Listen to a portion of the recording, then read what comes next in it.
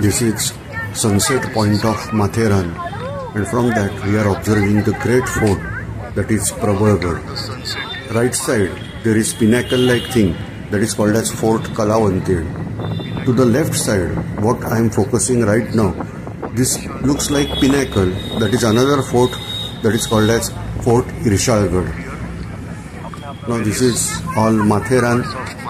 What is a close observed that is part of Matheran and distant the Matheran hill ranges.